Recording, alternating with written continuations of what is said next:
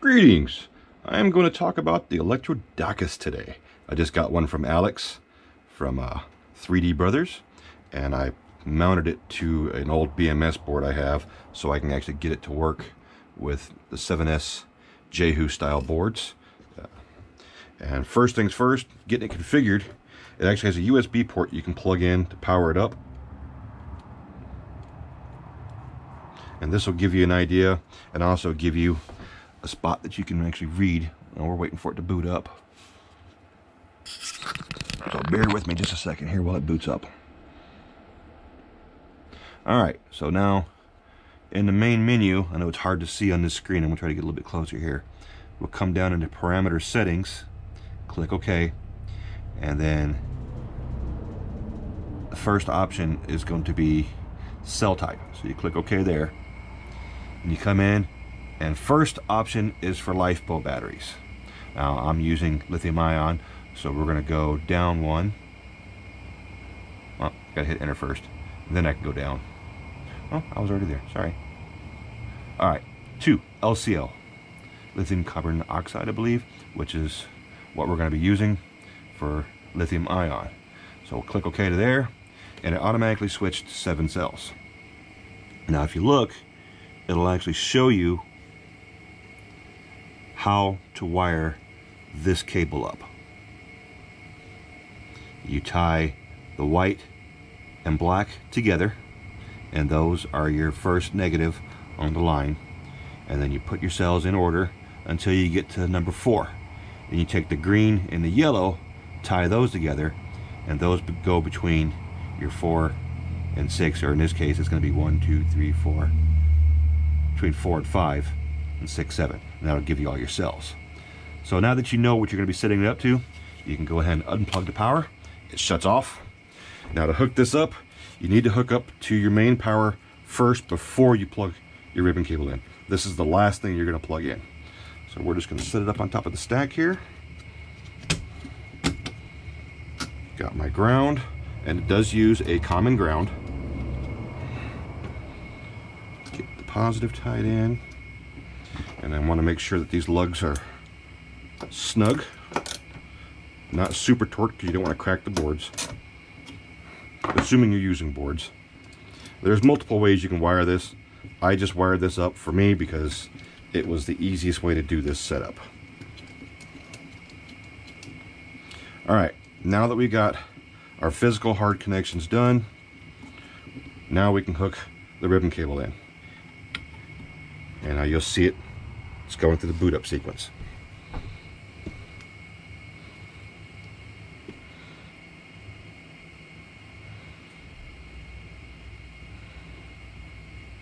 All right, I've already got it programmed, so it knows what I have in here already. So we'll go into parameter settings so you can see that.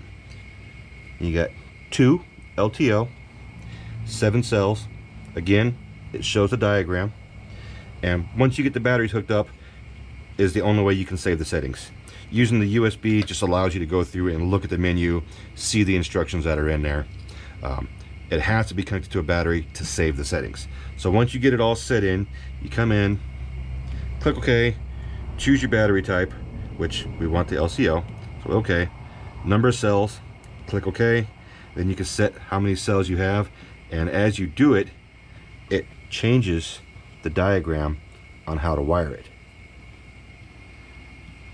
We're going to go back into 7, say OK. And then by default, it's set to 200 amp hours. Uh, when you know how big your pack is, you can go in and configure this down.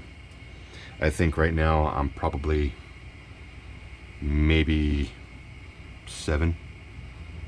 Oh, and it's going up. Arrows are kind of backwards on this. It's not super intuitive. So I'm just going to back out of that, and not set anything, leave it at 200. So then we can click the back button and you come into monitoring. And now you can see all the cells and you notice there's a gap in there. And then if you look at the wiring diagram, it's also showing that way. You got one, two, three, four, and five is the one where it's a gap, and then six, seven, eight, because this is set up to do 8S, but we're using it for 7S. And that's just how the BMS has to see it. You got your battery gauge, you got your Wi-Fi indicator, And then on the left, it shows all the individual stats. I have to pull my head back a little way, sorry. You get battery voltage at the very top. I don't know how well you can see that, so I apologize.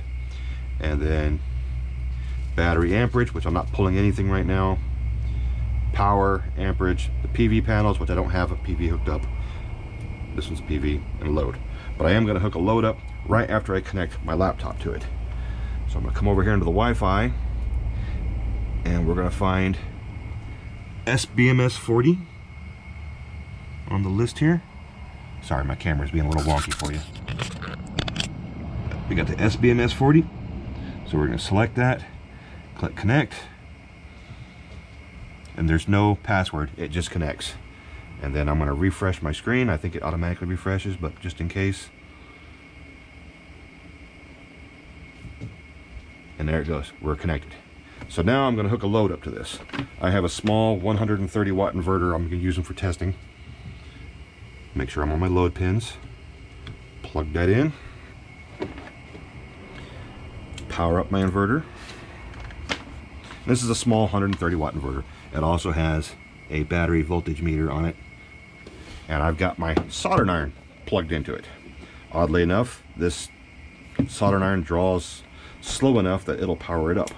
So we'll power soldering iron on, set for 750 degrees, and you can see it, I'm sorry about that, and you can see it starting to build up. Then we come over to here, and you can see on the screen where the power just jumped up suddenly. And then you got the individual cells shown. And then over here, battery, amperage,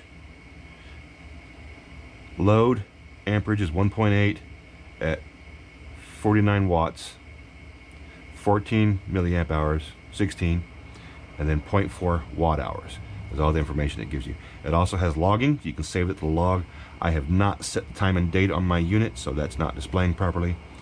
But over here again, you get your main battery graph, got all the individual cells, and you can see they're not balanced. I didn't do a load balance charging on this. I just put this pack together to get it going. Uh, it gives you temperature, battery voltage, internal temp, external temp if you have the external sensors hooked up, type 2 capacity, status. Very intuitive. And my soldering iron is still building up. It builds a little bit slow with the small inverter, but that's okay. It's doing what it's supposed to do. This thing is beautifully redesigned. I am very happy with it. And I already know the BMS feature works for the protection because my first pack I hooked up to this, I had some bad cells in it. And every time I tried hooking up a load, it would shut down on me. So the protection works fantastic. Um, this is currently on Indiegogo with uh, 3D Brothers. I will post a link to that in a description of the video, as well as a link to my Facebook group. I will do another review later on after I've had the solar panels hooked up and had it running for a while. But so far, I am really liking this. I love how compact it is, how small it is. This is a solar charge controller plus BMS unit all in one small little package. Um, to put things in perspective, my solar charge controller that I use on my system uh, for 60 amps was $289. And then each BMS unit that I use, it's about $60, $75. This, I believe, is right around $160, $170 for both the BMS and the solar charge controller. That is a fantastic deal, uh, especially if you're trying to save money and you want to build a larger pack. Um, it's definitely worth it. Like I said this is 40 amps. There is connections on the side here that you can hook up uh, external shunts and actually expand this thing to do higher current outputs. So it is definitely worth taking a look at. And I appreciate y'all's time in watching this video. And hopefully we can get this thing crowdfunded and bring it to market. Y'all have a good day.